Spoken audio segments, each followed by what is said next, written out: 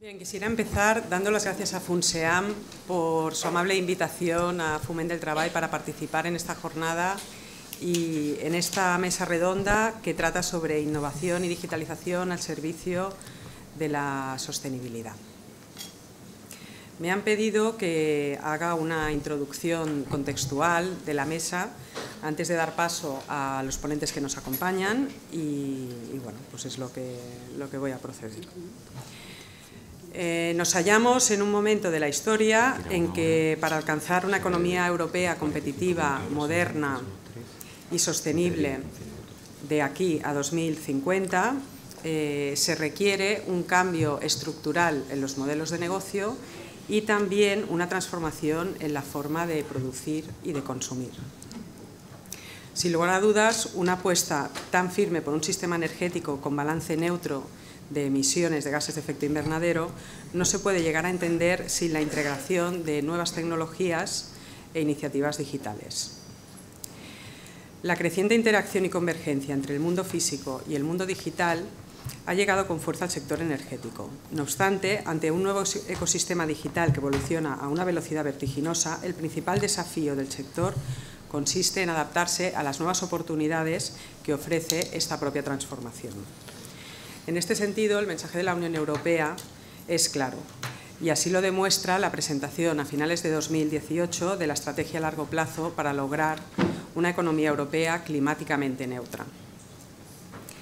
Dentro de este marco, la promoción de inversiones en innovación y en tecnologías digitales se erige como marco facilitador clave para lograr los tres objetivos principales de la política energética en la Unión Europea, que son la priorización de la eficiencia energética, el ser líderes en energías renovables y el que el consumidor tenga un papel más activo.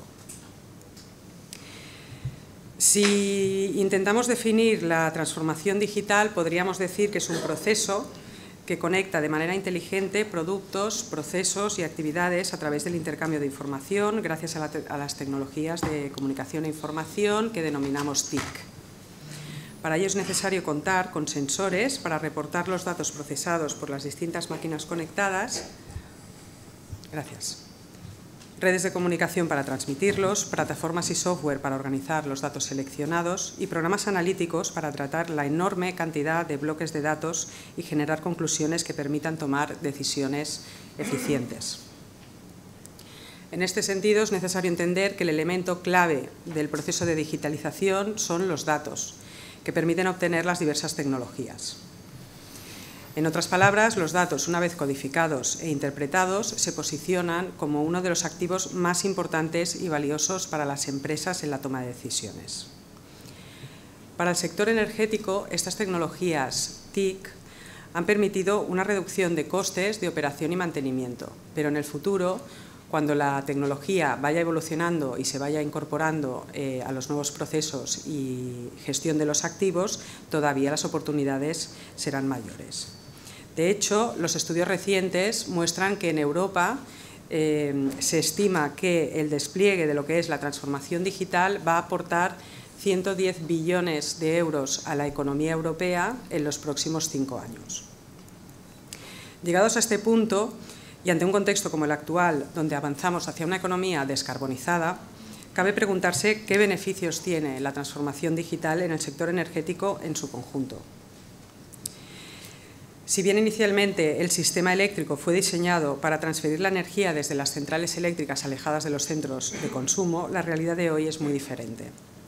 La penetración de las energías renovables, la eficiencia energética en la industria, el vehículo eléctrico y, en definitiva, la electrificación de toda la economía configuran el nuevo sistema eléctrico del futuro, donde toda la cadena de valor se enfrenta a grandes desafíos.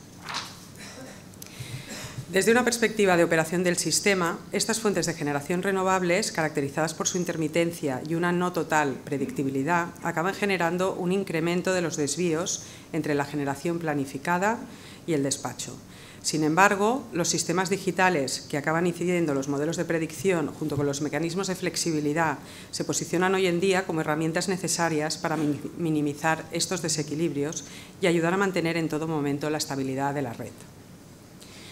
Por tanto, podemos apreciar que otra área prioritaria donde ha impactado el proceso de digitalización es eh, precisamente las redes inteligentes. La presencia de una cadena de valor con un doble flujo de energía y de información, junto con la entrada de recursos distribuidos a todos los niveles de la cadena, ha hecho necesario apostar por la implementación de redes inteligentes que hagan uso de las TIC para integrar los diferentes agentes del mercado, generadores de electricidad, almacenamiento, agregadores de demanda, vehículos eléctricos, eh, prosumers, etc. La implementación de redes inteligentes dotadas de nuevas tecnologías generan una serie de ventajas al sistema respecto al uso de redes convencionales. Además, facilitan la fiabilidad y la seguridad del sistema, así como la optimización y eficiencia de las operaciones gracias al flujo de potencia e información bidireccional. Finalmente, las redes inteligentes generan la oportunidad para que los consumidores que producen su propia energía respondan a precios y vendan el excedente a la red. Todo ello está permitiendo a la vez un paulatino proceso de empoderamiento de los consumidores finales domésticos en el mercado eléctrico. Para que los consumidores reciban una mayor y mejor información en la toma de decisiones, la Unión Europea se ha fijado como objetivo sustituir más del 80% de los contadores de electricidad por contadores inteligentes en este 2020. A escala mundial, en 2017, ya se habían instalado más de un millón de contadores inteligentes en electricidad, agua y gas. Y se espera, obviamente, que su penetración siga creciendo de forma considerable. Además, se debe de tener en cuenta que la incorporación de otras fuentes de datos útiles en el sector, como por ejemplo los datos meteorológicos o los datos procedentes de edificios inteligentes, incrementan exponencialmente la cantidad gigantesca de datos a procesar. Así pues, no es de extrañar que tecnologías como el Big Data, la inteligencia artificial, el blockchain o el machine learning estén ganando peso también en el sector energético. Ante este contexto, se desprende claramente que la digitalización es un proceso transformador cuya frontera tecnológica se encuentra en constante avance. Es decir, tecnologías hoy en día emergentes y aún en fase de desarrollo y experimentación pueden ofrecer en un futuro próximo soluciones a nuevos retos del sector. Como decíamos, tradicionalmente el consumidor se ha caracterizado por ser un cliente orientado en la percepción del servicio y con escaso poder de participación. Esto sin duda ha cambiado tanto por los esfuerzos llevados a cabo por la Unión Europea como por el propio devenir de nuestra historia. El nuevo consumidor energético es digital, conectado y social. Tiene una mayor capacidad de decisión, está preocupado por el control de su consumo, por el ahorro y exige una comunicación próxima y una mejor experiencia global. Los consumidores pueden adaptar sus patrones de consumo de acuerdo con las señales de precio que reciban y, por consiguiente, reducir considerablemente los costes de suministro energético. Gracias a la proliferación de dispositivos móviles como smartphones o tablets que permiten un acceso instantáneo a la información en cualquier lugar del mundo. Cabe citar también en esta introducción que la digitalización no está exenta de riesgos. De manera transversal, esta afecta a cualquier eh, sector planteando nuevos desafíos estrechamente relacionados con la ciberseguridad y la privacidad de los datos que deberán ser gestionados adecuadamente, en particular en las redes inteligentes. Como reflejo de ello, la ciberseguridad se ha posicionado como uno de los vectores o de las prioridades en la Unión Europea en los últimos años y para ello cuenta con una estrategia específica orientada a fortalecer la resistencia cibernética. El marco, que, el marco europeo regulatorio que, afecta a lo que tratamos en esta mesa eh, se concreta en un programa denominado Europa Digital que eh, propone disponer de 9,2 billones de euros de fondos para el periodo comprendido entre 2021 y 2027, que se reparten de la siguiente manera. 2,7 billones para el diseño de supercomputadoras, 2,5 billones para impulsar la inteligencia artificial, 2 billones para eh, desarrollar medidas en ciberseguridad, 700 millones para formación de las capacidades y las habilidades en nuestros profesionales, 1,3 billones para asegurar el uso masivo de tecnologías digitales en toda la economía y toda la sociedad. Todo ello está actualmente en trámite y espera, eh, el calendario que se espera es que se ponga el 1 de enero de 2021 en marcha. Y ya para finalizar esta introducción, me gustaría eh, dar alguna información sobre Barcelona y Cataluña, donde hoy estamos celebrando esta jornada, puesto que Barcelona tiene todos los ingredientes para consolidar un hub tecnológico de primer nivel. Efectivamente, Barcelona reúne una serie de características, como son las siguientes. Disponemos de un conjunto de empresas con una fuerte vocación industrial. Somos una ciudad líder en startups. Tenemos grandes proveedores de conocimiento como Eurecat, Barcelona Supercomputing Center y el sincrotrón ALBA. Somos una ciudad líder en congresos y las empresas apuestan cada vez más por Barcelona para instalar sus centros de innovación. Todo ello se resume en tres cifras. Eh, somos la tercera ciudad preferida por los emprendedores para crear una startup, la séptima ciudad del mundo mejor para vivir y trabajar y la 17 ciudad del mundo en recepción de turistas y 18 en gasto de los mismos. Finalmente, el talento de las personas, que es capital para llevar a cabo todo este cambio. Eh, disponemos de 12.000 vacantes de perfiles en Cataluña, de perfiles digitales para este año 2020. Haciendo un foco eh, sobre lo que sería el capítulo de la inteligencia artificial, en Cataluña hay 179 empresas que ya trabajan en este sector, eh, con una facturación asociada de 1.358 millones de euros anuales y eh, que dan ocupación a 8.483 profesionales. Los principales segmentos donde operan son el desarrollo de algoritmos, de software o de dispositivos, la consultoría y la prestación de servicios en general. Se trata de un sector formado mayoritariamente por pymes, en un 92%, donde un poco más de la cuarta parte son empresas internacionalizadas, un 27%. En cualquier caso, se trata de un sector eminentemente emprendedor, formado en un 63% por startups y donde el 71% de las empresas tienen menos de 10 años. Y con esto concluyo. Eh, la gestión del cambio climático no se puede entender sin la transformación digital y sin la innovación en múltiples sectores, también en el sector energético. Y cabe preguntarse qué implicaciones tiene todo ello. Y para ello contamos con eh, nuestros ponentes que nos van a explicar cada uno eh, distintos casos particulares en el presente y también su visión de futuro sobre cómo todo esto se va a ir desarrollando. Muchas gracias y paso la palabra a Elena de Benavides, líder de Innovación Abierta y Emprendimiento de Red Eléctrica de España. Muchas gracias y muchas gracias a Fonsean por, por invitarnos a estar hoy aquí y por sacar este, este tema, en ponerlo encima de la mesa.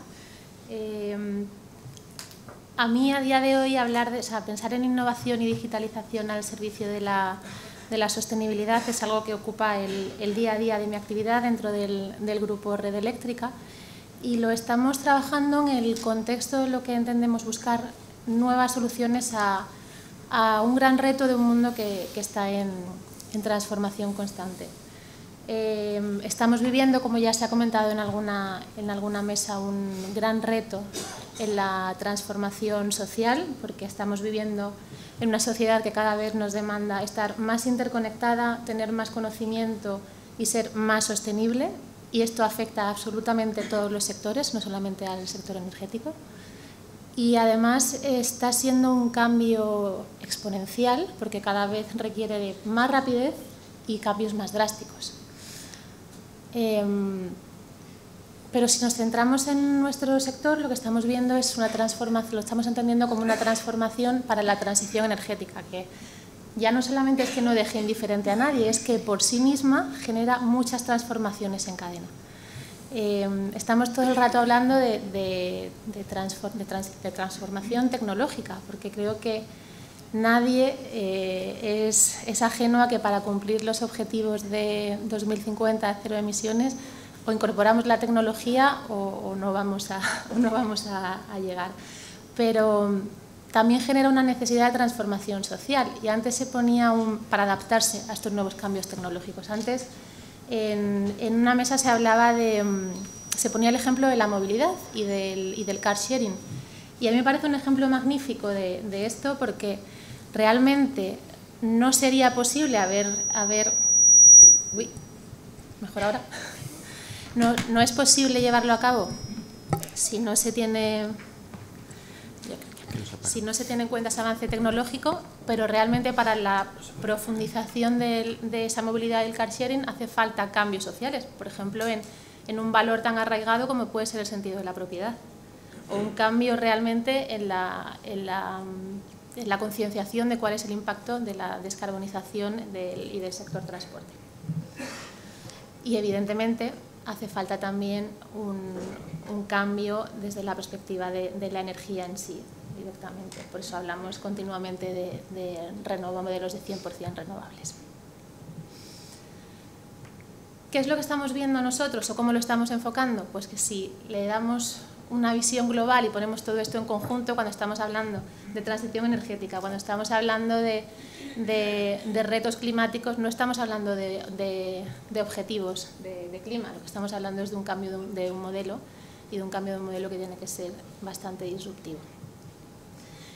Si mm, pensamos en un modelo en el que se integren algunos de los, de los temas que están encima de la mesa, que se recogen algunos, evidentemente no son todos, nosotros lo que vemos es eh, necesidad de cambio, vemos una enorme incertidumbre, pero para los que, como en mi caso, trabajamos en el área de la innovación, lo que vemos aquí es una oportunidad enorme. Eh, una oportunidad de, coger estas, riendas. Y bueno, creo que el objetivo de la mesa debe ir hablar de, casos concretos, ¿no? Cómo estábamos, cómo estábamos afrontando. Dentro del grupo Red Eléctrica lo estamos haciendo a través de RETID, que es una, es una apuesta, es como llamamos a la apuesta tecnológica por la innovación eh, para la transición energética. Y lo que estamos haciendo a través de esta, de esta estructura es dotarnos de las capacidades para combinar tanto la innovación interna como la innovación abierta, abriéndonos completamente al, al exterior para ser capaces de explorar y explotar todas estas nuevas tecnologías y nuevos modelos que se ponen encima de la mesa y convertirlos en herramientas para la, para la sostenibilidad. Como os decía antes, pues, pues hay, hay mucha incertidumbre, y, pero nosotros creemos que en nuestro caso, nuestros principales vectores van a venir por tres ejes que son los que definen los seis em, verticales de actividad que hemos definido desde, desde innovación en nuestra actividad. Estos principales ejes para nosotros son la electrificación de, de la economía, entendida como que la electricidad es un vector fundamental para la incorporación de, la incorporación de renovables y de ahí aportaremos en la transición energética. Por otro lado, la accesibilidad eh, y la transmisión de esta información para, para poder generar una, una, transición justa que coloque al ciudadano en el centro y, y por último, un desarrollo y una gestión inteligente de, de activos que nos permita dotar al sistema de mucha más flexibilidad lo hacemos apoyándonos en tecnología. Vamos a hablar mucho y hemos hablado mucho de ella, entonces no voy a, no voy a detenerme en cómo utilizamos cada una, de, cada una de ellas, pero al final lo que queremos es poner toda esta potencia eh, que hay a día de hoy en, en, todos los mercados y en los sectores al servicio de la, de la transformación, de la transición energética. Para nosotros 2019 ha, sido un, año muy bueno en cuanto a dentro del, sistema eléctrico español, en cuanto a cumplimientos de, objetivos del, Plan Nacional Integrado de Energía y Clima. hemos sido capaces de, incorporar 6.500 megavatios de energía renovable, que son 6.200 más que el año anterior eh, y ser capaces de llegar a un, a un, mix de generación en el que las renovables suponían, han supuesto hasta un 40%, un 40%. Evidentemente ha sido un gran año, pero, pero si pensamos en 2050, que no sé cómo lo veis, eh, pero para mí es pasado mañana, eh, pensar en, los, en, 100%, en la integración del 100% de renovables y 0% de emisiones siguen, siguen dando, dando vértigo y da, por lo menos hace que nos pongamos a, a trabajar seguro. Eh, quería aprovechar para traeros tres casos muy concretos de, de proyectos que estamos desarrollando dentro, dentro del, dentro del grupo porque creo que reflejan bien la filosofía de esa estrategia de unir la, innovación a la sostenibilidad. Como, como, está ocurriendo en el sector, nosotros entendemos el vehículo eléctrico como una herramienta de, transición energética, eh, no solamente por su potencia como la descarbonización del sector, sino como un vector importante para la, electrificación. Entonces, en este contexto y teniendo en cuenta nuestra misión como, como TSEO, lanzamos una iniciativa que se llama CECOBEL, que es un proyecto colaborativo en el que el, objetivo de CECOBEL es mapear la evolución del vehículo eléctrico eh, monitorizando los puntos, de, los puntos de recarga. O sea, al final, explicándolo de una forma muy sencilla, este proyecto lo que hace es que si nosotros para, optimizar la, demanda y la, con, la, generación utilizamos algoritmos de previsión, lo que queremos es que si los puntos de recarga son a la vez puntos de demanda, incorporar esos datos a nuestros algoritmos. Para de esta forma tener, poder aportar eh, mucho más eficientemente a la, a la, operación del, a la operación del sistema. Con este proyecto hay ahora mismo como unos 2.000 puntos de recarga monitorizados y esto nos permite no solamente, es el inicio, nos permite no solamente cumplir con la misión de este proyecto, sino también generar una información al, al usuario y de esta forma ayudarle en, la utilización del, del, vehículo eléctrico. Había traído un, un vídeo, pero no sé si voy un poquito justita de tiempo, así que eh, creo que... Eh, dos minutos. ¿Sí? Vale, es un... Sí, se puede. Sí, sí, sí. Ah, sí, sí, se puede. A ver. En teoría... Otra cosa es que, Otra cosa es que me deje ponerlo, sí. A ver.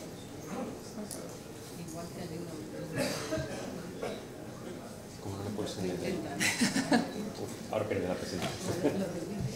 Lo del vídeo... El vídeo el vídeo siempre introduce un poco de tensión en las presentaciones. Es muy innovador. Sí. No, si no, si no pasamos, ¿eh? Tampoco quiero las innovaciones tecnológicas están cambiando nuestro mundo. Las innovaciones tecnológicas están cambiando nuestro mundo. Conceptos como conectividad o la inteligencia artificial, cada vez más presentes, forman parte de la llamada cuarta revolución industrial y permiten generar oportunidades de mejora, así como fortalezas para afrontar con éxito los retos presentes y futuros. En este contexto de Industria 4.0, Red Eléctrica de España está desarrollando un sistema inteligente capaz de recopilar y analizar toda la información acerca de nuestros activos, para transformarla en conocimiento de alto valor añadido que nos permita optimizar nuestra gestión, asegurando siempre la seguridad de nuestro personal y el cumplimiento de la misión de la compañía. ¿La tecnología es capaz de pensar? Manint sí tiene capacidades cognitivas. El Centro de Mantenimiento Integral de Instalaciones de Red Eléctrica de España está entrenando una nueva generación de sistemas cognitivos capaces de analizar datos de nuestras instalaciones para comprender, razonar y aprender sobre el mantenimiento, reparación y optimización de nuestros activos en una escala de inteligencia sin precedentes. Manint es un proyecto de transformación digital y cultural que nace con el objetivo de mejorar las estrategias de gestión de activos de alta tensión mediante el desarrollo e implantación de herramientas y funcionalidades de análisis avanzado de datos y mejorar por otro lado la actividad de los profesionales que forman parte de Red Eléctrica de España. Manint permite englobar todos los sistemas corporativos en una única plataforma, que junto con nuestro sistema integral de monitorización Simón y las interacciones con él generan una gran cantidad de datos que ahora Manint es capaz de analizar y transformar en conocimiento útil. Manint trabaja con nosotros y aprende. Conseguirá optimizar la gestión de activos de alta tensión, mejorando el conocimiento de los mismos, facilitando la labor de los expertos y estableciendo un mecanismo de gestión del conocimiento que permite aplicarlos a los activos de manera ágil. Manint es la respuesta de Red Eléctrica de España a un futuro ya muy presente, que nos permitirá afrontar los retos del futuro con garantías de éxito en la nueva era de la industria 4.0.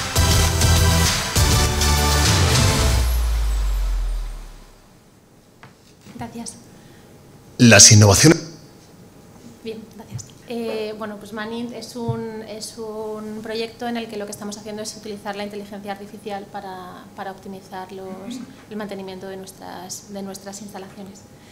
Y evidentemente en esta mesa pues tenía que traer un proyecto de datos porque los datos son la nueva materia prima del, del siglo XXI.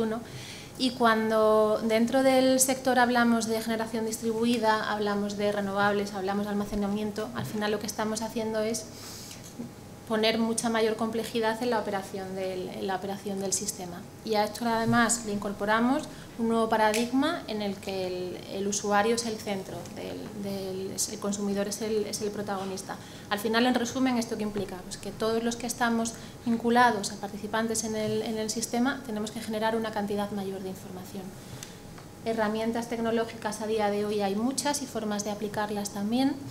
Dentro, de, dentro del grupo Red Eléctrica, lo que por el proyecto que estamos apostando principalmente ahora mismo es un proyecto que se llama Data Hub, que es parte del concepto de plataformizar toda esta, toda esta información, es decir, incorporar inteligencia a estos datos en base a cómo funciona el sistema eléctrico para de esta forma poder eh, tener más capacidad de flexibilizar el, el, sistema y ponerlo al servicio de todos los integrantes.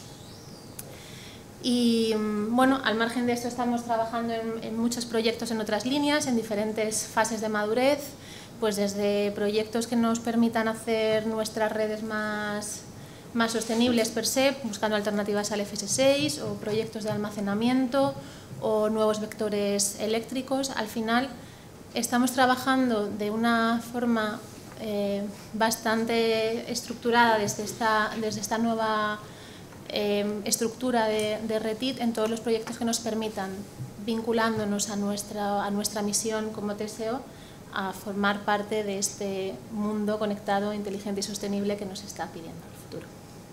Muchas gracias. Muchas gracias, Elena. Sin duda, estos tres ejemplos que nos has explicado pues demuestran que, esta transformación digital es una oportunidad, como muy bien decías al principio. ¿no?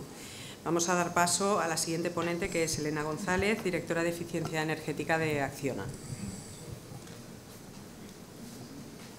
Muchas gracias, buenas tardes eh, a todos y encantada de estar con vosotros, aunque sea en este momento después de comer, que siempre suele ser más complicado, pero mi homóloga Elena pues, ha animado ya un poco eh, la, mesa. Yo eh, quería comenzar, eh, como teníamos que hablar sobre el tema de, las tecnologías de la información en, el ámbito de la eficiencia energética, pues nada mejor que una frase del de, señor eh, Kofi Annan, el secretario general de, de, Naciones Unidas, que ya en el 2000, por ahí por el 2003 decía que las TICs no son ninguna panacea ni fórmula mágica, pero pueden mejorar la vida de todos los habitantes del planeta. Y con permiso del señor Annan, yo me atrevería a añadir que además pueden servir de catalizadores para, eh, para incorporar la eficiencia energética en, en nuestros procesos. Eh, si, vemos algunos de los estudios que, circulan por la, por la, red que hoy día todos utilizamos, por, Internet, pues en, en 2006 eh, Climate Group decía que que con un mayor de las, eh, uso de las tecnologías de la, de la, información en el sector energético, eh, podríamos conseguir del entorno de una reducción del 15% de, de, emisiones. Hay que ver cómo han hecho estos cálculos, pero sin duda no es una cantidad eh, despreciable si es que es realidad. Eh, yo quería ver em, qué es lo que ha pasado hasta ahora en el entorno de, las TICs y hemos visto cómo han ido penetrando en todos los sectores de, de nuestra sociedad. Eh, si vemos, por ejemplo, cómo ha transformado la penetración de las TICs en la banca o en el comercio, o, fijaos que Financial Times en, en 2006 decía que Internet superaba ya eh, a todos los periódicos eh, eh, físicos a la hora de que el usuario eh, consultase las, noticias. A día, eso en 2006. A día de hoy, pues la prensa escrita ya va a pasar casi a nuestra historia. Eh, eso quiere decir que desde que aparece Internet en los años, eh, en el año 69 eh, y una década después, 2.000 millones de usuarios están utilizando la red, vemos cómo hemos ido transformando nuestro comportamiento en casi todos los ámbitos de nuestra vida. Eh, pero, sin embargo, ¿qué es lo que ha ocurrido en el sector energético? Pues yo os cuento una anécdota personal. En, el año 2011, una editorial que por motivos de crisis desapareció una vez que teníamos las artes finales del libro, pues me planteó escribir un pequeño libro sobre la eficiencia energética y las TICs. Y yo en ese momento pensaba que iba a ser la revolución, año 2011. Un año después seguimos buscando esos modelos de negocio. Todavía eh, no vemos esa revolución en el sector energético. Y eh, hay eh, iniciativas, como esta iniciativa, la iniciativa del Mundo del 2050, que plantea seis transformaciones, seis grandes transformaciones en, nuestra sociedad. Y si veis, varios de ellos tienen una implicación profunda de la penetración de, de las tecnologías de la información. Una de ellas habla directamente de revolución digital. Y si nos vamos a la parte de descarbonización y energía, ahí lo que nos plantean es eh, que para conseguir una energía eh, económicamente accesible y limpia debemos incorporar lo que llaman ellos acceso a, la energía moderna para todos. Entonces, ¿qué es esto de la energía moderna para todos? y permitirme saltar a esta, a esta, página para no extenderme. Eh, lo que estamos viendo y lo que creíamos ver a lo mejor hace ya algún tiempo es que por fin eh, la transformación digital parece que empieza a penetrar en el sector energético y empieza a proponer una serie de modelos alternativos que realmente eh, hagan que esa transformación se consiga. Y donde yo creo que se están juntando ahora, digamos, dos caminos que iban paralelo y que parecía que no se iban a juntar más que en el infinito, pues eh, estos dos caminos de la energía por su situación de, em, digamos, de tener mucha eh, influencia ahora todos los temas de sostenibilidad, de dependencia energética, por supuesto, y de competitividad, que ya los conocemos, pues está juntando ese camino con eh, todo nuestro uso masivo de las tecnologías de la información en diferentes modelos de negocio. Entonces, estamos viendo ahora cómo los usuarios entienden que los activos se pueden monetizar y hemos visto la penetración de algo como Airbnb, que hace muy poco no existía, pero ahora todos, gracias a la digitalización, ¿eh? teníamos una casa, teníamos unos activos de uso propio y ya muchas personas, de una forma muy fácil y muy ágil, está eh, poniendo en valor esos, esos activos que hace unos años no se nos hubiese ocurrido. Ahora mismo, ¿eh? ver televisión a la carta o música a la carta es algo que a nadie nos cabe ninguna duda, y mucho menos pues a nuestros hijos o, similares. Es algo que también lo tenemos fuertemente interiorizado. El compartir em, algunos usos como es la movilidad, que si vemos eh, cuánto tiempo llevan las plataformas de, movilidad en Madrid, Barcelona, hace tres años no existían y de aquí a tres años todos somos usuarios de, estas plataformas. Bueno, pues ese concepto es el que entendemos que tiene que cambiar eh, en el sector energético, en el uso final de la energía, en la optimización del uso final de la energía. Tecnologías no nos faltan. Si vemos tecnologías de demanda, yo os he puesto ahí una lista, pero podría haber sido de nuevo casi infinita. Eh, aquellos que nos eh, postulamos como expertos en, gestión energética, sabemos que existen innumerables tecnologías, tanto por el lado de la oferta, de, la demanda, perdón, como por el lado de, la oferta, e incluso ahora mismo estamos siendo capaces de incorporar nuevos sistemas gracias a la digitalización para mejorar la gestión eh, de, la, energía de las distintas instalaciones. Además, existen, por supuesto, modelos de negocio que acompañan eh, las inversiones en esas, en esas tecnologías.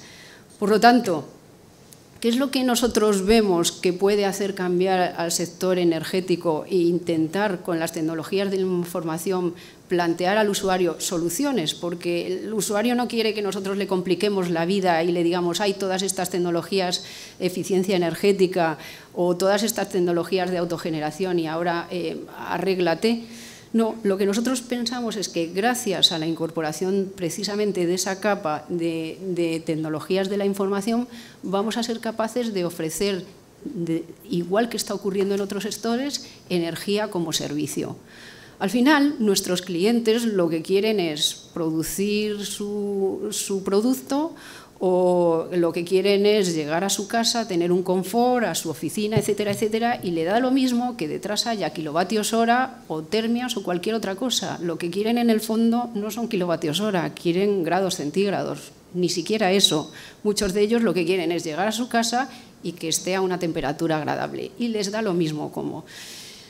Yo creo que mm, después de estar trabajando eh, tiempo en los temas de eficiencia energética y como decían aquí esta mañana, casi desde el principio fuese el, patito feo del sector energético, eh, lo que, y permitirme que estamos todos en un momento, eh, estamos todos, pertenecemos a un sector que, que estamos, somos muy convencidos y siempre estamos hablando los mismos sobre lo mismo, pero fuera de aquí yo creo que no somos capaces de eh, transformar este convencimiento eh, de que la eficiencia energética no va a reducir nuestro bienestar, pero sí que va a mejorar eh, nuestra cuenta al final del día, pues lo podemos hacer gracias a utilizar una serie de productos que no necesariamente le tenemos que explicar técnicamente al usuario.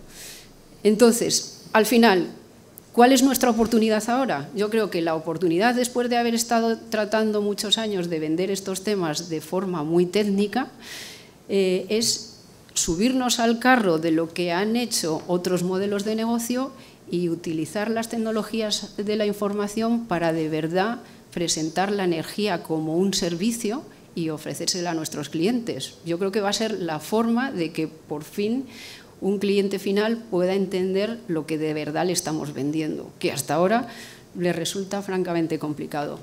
Y además tenemos una parte interesante y es que el cliente, el usuario final ahora eh, cambia. Antes era, como estábamos diciendo, un usuario, por así decirlo, pasivo, era un usuario que consumía, pero ahora se le abren las posibilidades de generar y almacenar.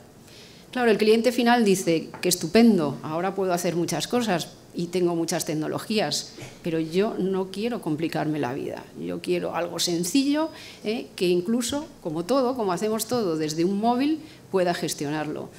Si no somos capaces de hacer eso, eh, será complicado eh, que el cliente final entienda cómo incorporar la eficiencia energética en sus procesos. Esa es, esa es nuestra idea, porque al final eh, un industrial que sabe mucho más eh, de costes, lo que quiere es ahorrar en kilovatios hora, ahorrar en euros kilovatios hora, reducir sus emisiones de CO2 porque evidentemente eh, la tendencia de sostenibilidad es imparable, pero por supuesto lo que quiere es mejorar sus instalaciones y por encima de todo que no le cueste dinero. Entonces, si somos capaces de darle un servicio que reúna esas condiciones y que incorpore todas las tecnologías de eficiencia energética por debajo, yo creo que triunfaremos. De lo contrario, pues eh, igual sigue siendo la eficiencia energética el, patito feo del, sector energético.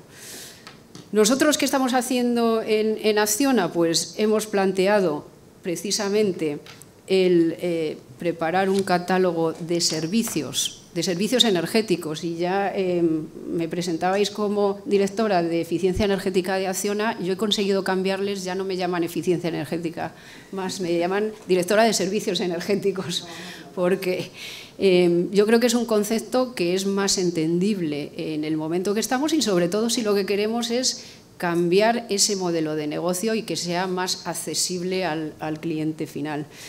Entonces, lo que estamos haciendo precisamente es, eh, sobre una base de expertos en tecnologías de demanda y en tecnologías de oferta, presentarle al cliente final una solución con una capa de digitalización donde lo vean como un servicio, un servicio que realmente les aporta valor.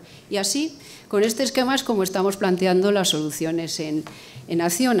Evidentemente detrás tenemos eh, todo un equipo dedicado a crear lo que hemos llamado soluciones energéticas digitales, por ponerle un apellido que siempre nos gusta llamarle de alguna forma.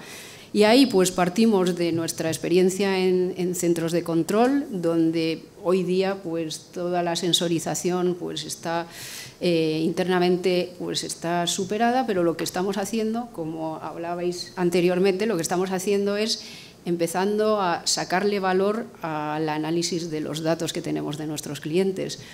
Lo que hacemos es asesorar, dar ese servicio de mejora continua en el uso de la energía a los, a los clientes y para ello, pues nada mejor que incorporar, pues eh, no traspasarle el programa a los clientes, sino nosotros incorporar estas soluciones que, desde el mundo informático, del mundo de las TICs, nos proveen para, para analizar patrones, comportamientos, etcétera, etcétera, pues modelados, eh, etcétera, etcétera.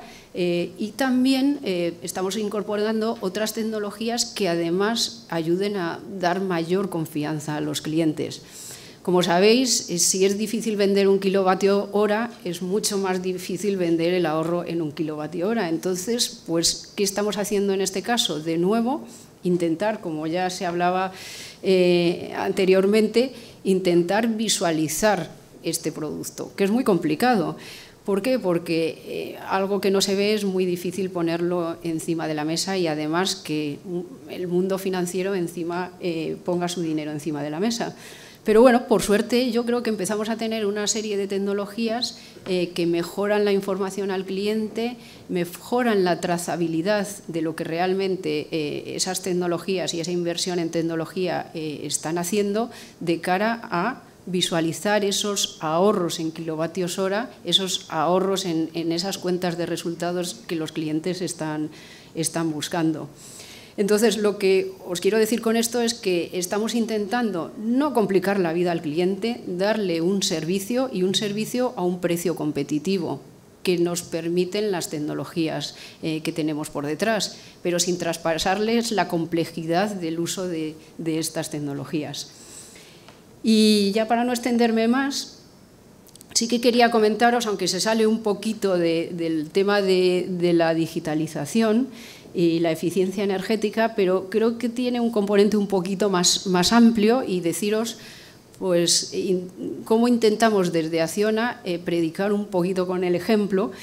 Y lo que hemos hecho es un ejercicio interesante. Eh, yo creo que todos conocéis la, taxonomía que ha, la propuesta de taxonomía que, ha presentado la, Unión Europea. Y dentro de la casa lo que hemos hecho es decir, bueno, vamos a ver, de acuerdo con esa taxonomía, eh, cómo está eh, cumpliendo ahora mismo a día de hoy Acciona. ¿Por qué? Porque creemos que con los datos que aquí presentamos eh, el valor es importante de cara a lo que también se comentaba sobre proveedores, etcétera, etcétera.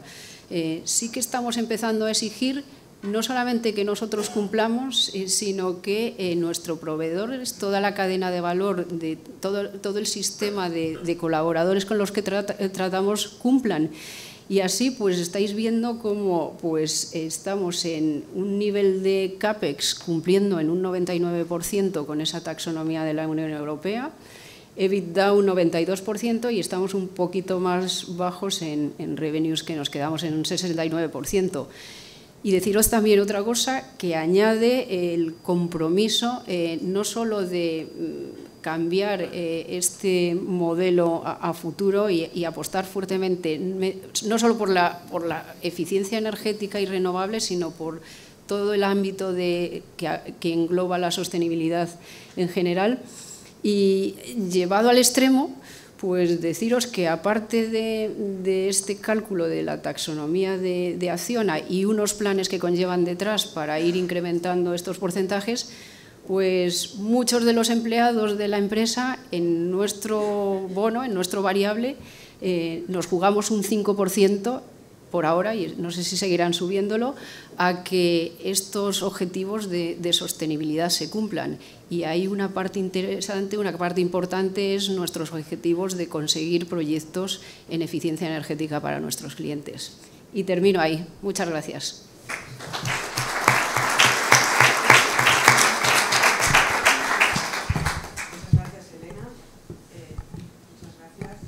nos ha quedado claro que el reto de la eficiencia energética es conseguir que sea sencillo y que lo podamos resolver desde el móvil y que no nos cueste dinero, lo cual no es poco.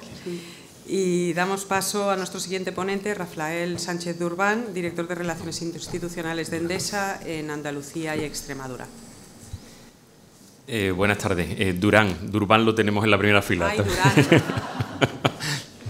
bueno, pero somos casi del mismo clan, ¿verdad, Rafa? Bueno, buenas tardes. Eh, vamos eh, regular de tiempo, por no decir que ya estamos eh, superando la primera mesa y voy a tratar de centrar la ponencia en, las actuaciones en términos de eficiencia energética y sostenibilidad en el ámbito de la ciudad. En la ciudad no vamos a, jugar mucho, sobre todo en los países desarrollados, y fundamentalmente de eso versará la ponencia con un ejemplo práctico de lo que es el proyecto eCity en la isla de la Cartuja, que pasaré a exponer en la parte final de la presentación.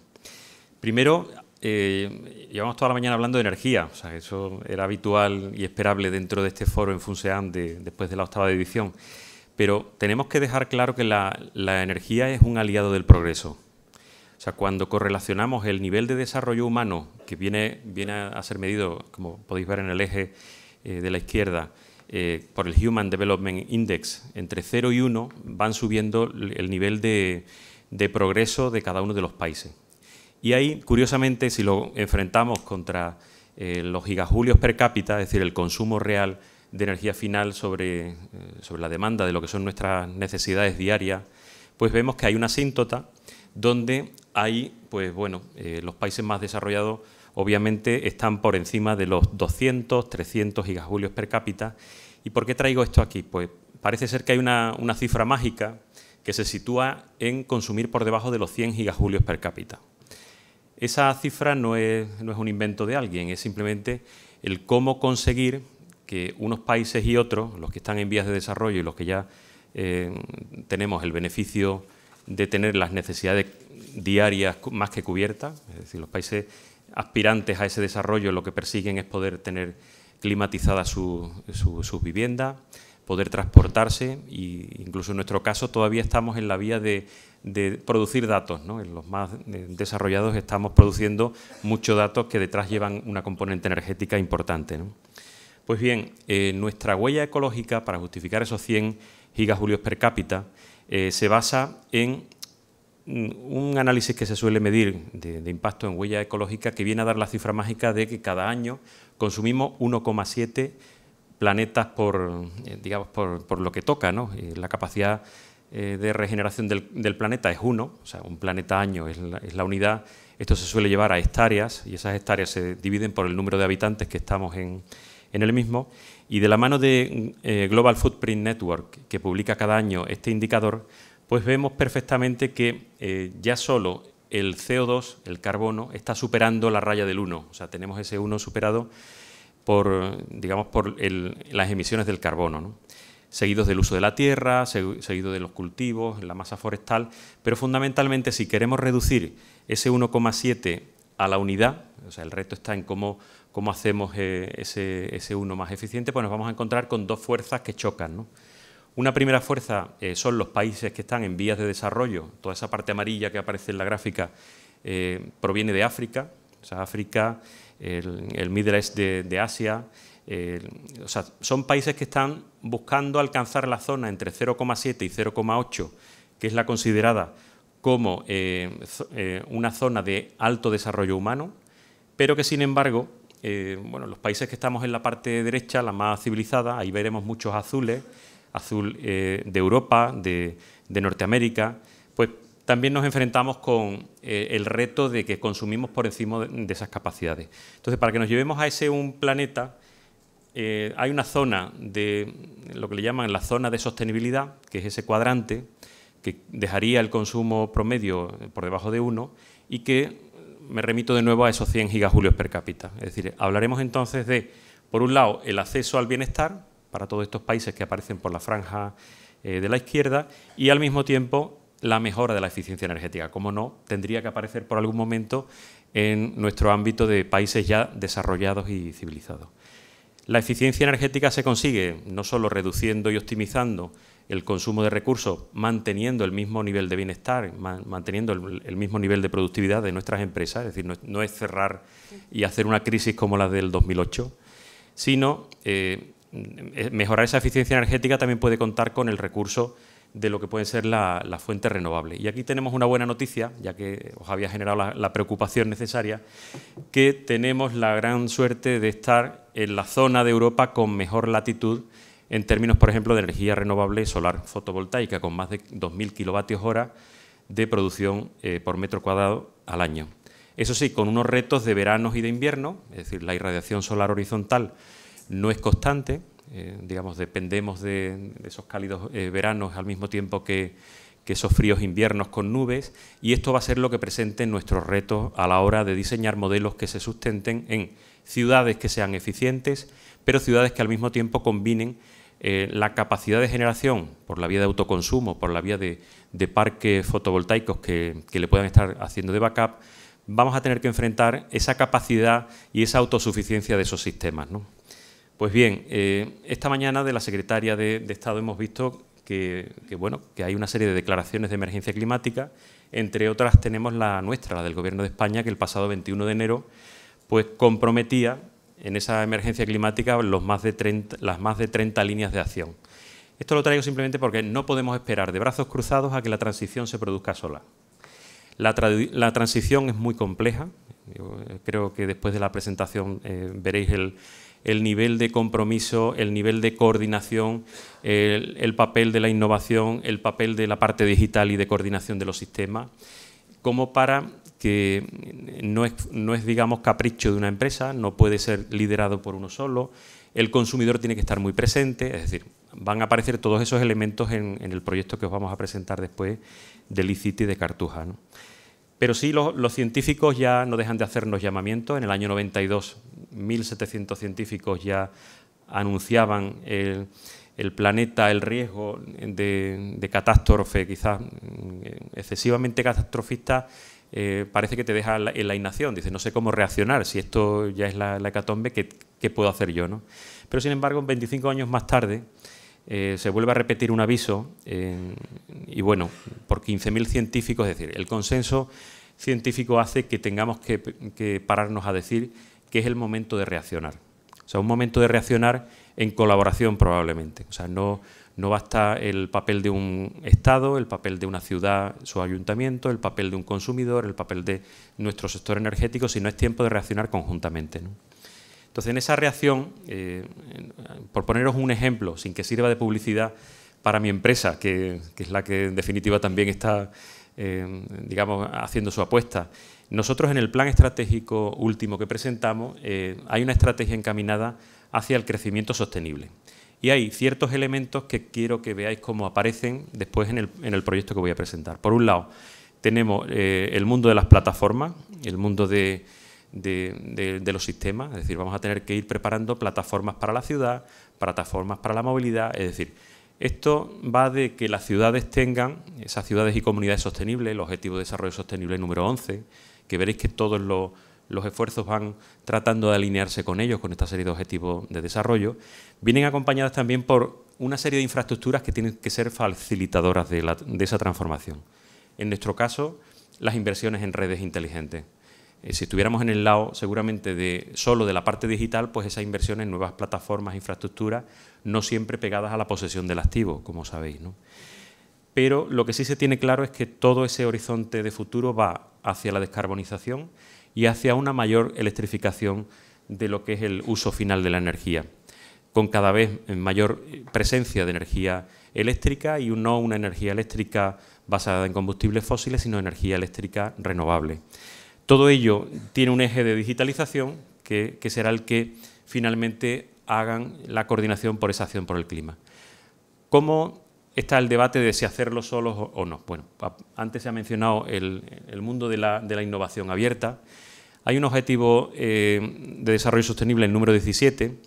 Hay una frase, que todo el mundo ha, traído alguna frase, en este caso Bill Joy, el fundador de SAM System, que no toda la gente inteligente trabaja para nosotros, entonces tenemos que combinar yo, yo diría, no toda la gente no, mucha gente está fuera o la mayor parte de la gente está fuera. ¿no?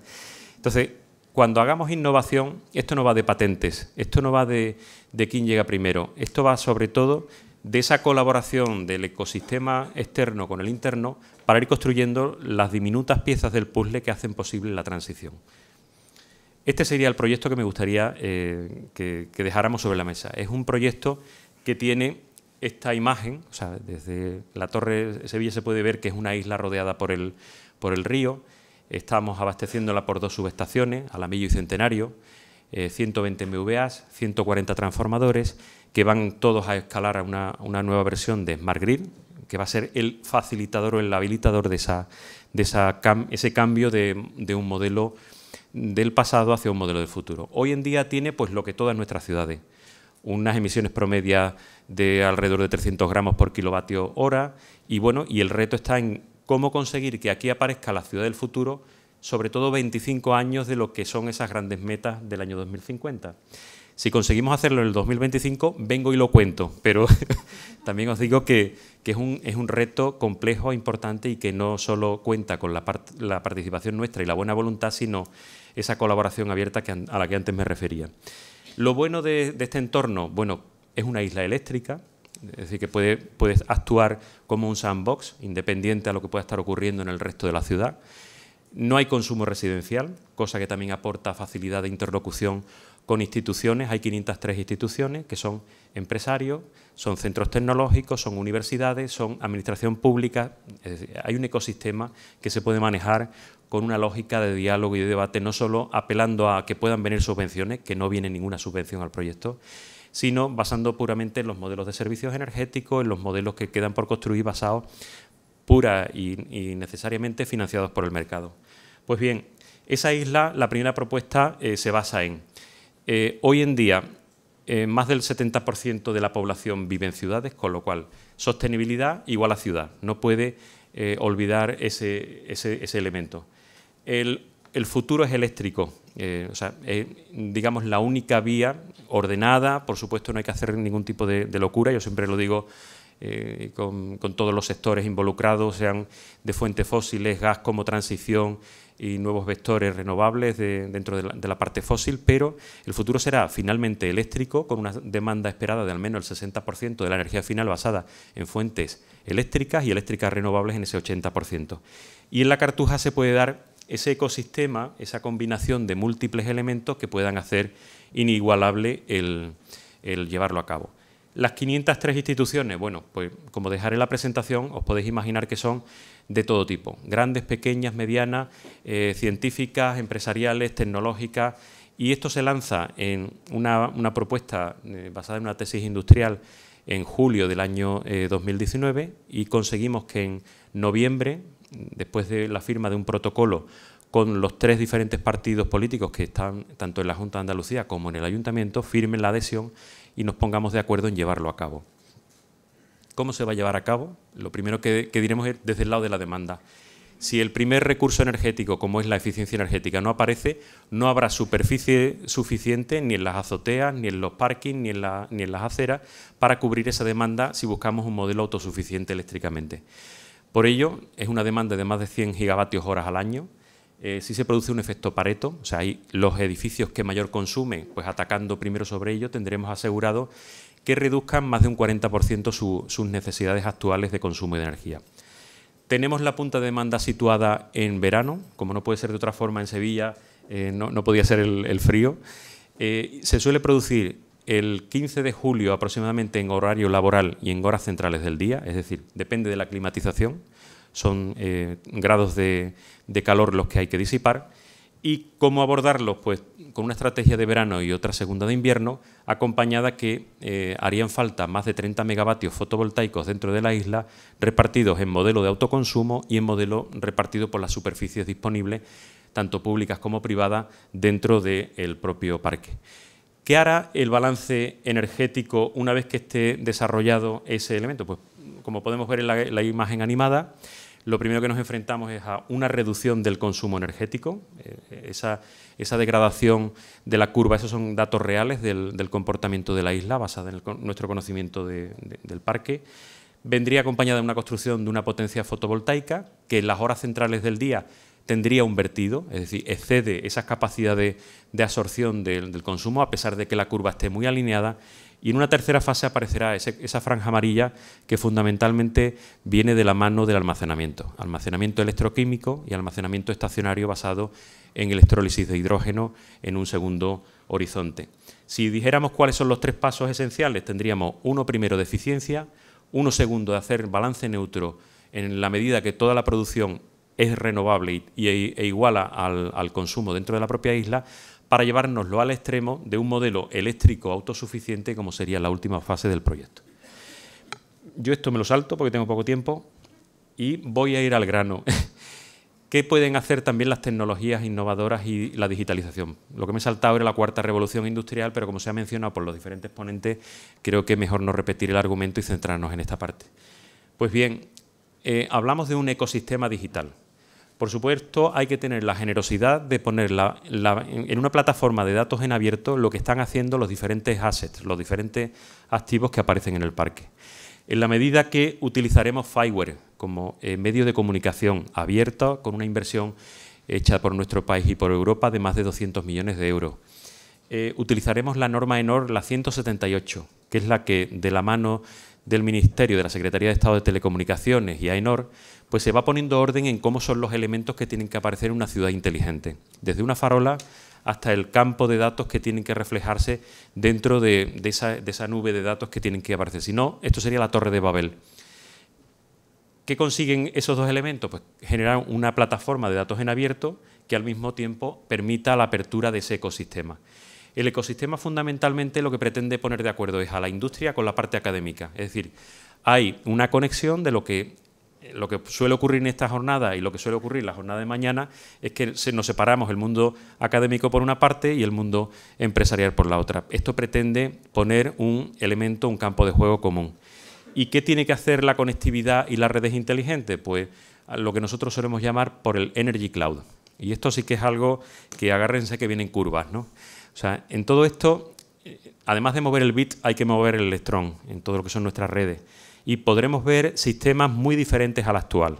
Por poner un solo ejemplo, un sistema Transactive Energy eh, prescinde incluso de la comercialización, o como hoy en día se entiende, es decir, se conectan edificios con capacidades de producción y de demanda eh, que pueden ser acoplables, acoplables le llamo yo a lo que pueda ser eh, simétricas o, que tengan un, beneficio conjunto y simplemente con sistemas como los que has puesto Elena, basados en blockchain, eh, unido a microredes, pues pueden estar haciendo un modelo que permita tener un gran y un elevado grado de, autosuficiencia. Algunos le llaman autoconsumo compartido, o sea, pero no deja de ser elementos que aparecen.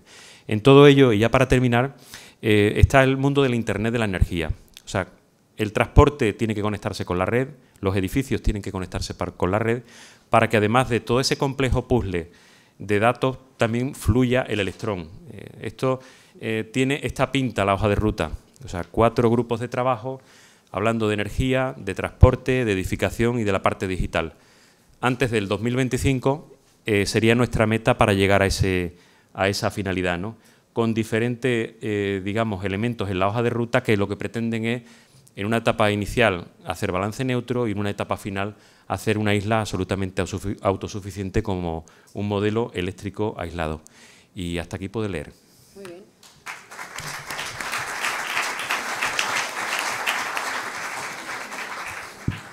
Muy bien, Rafael, muchas gracias.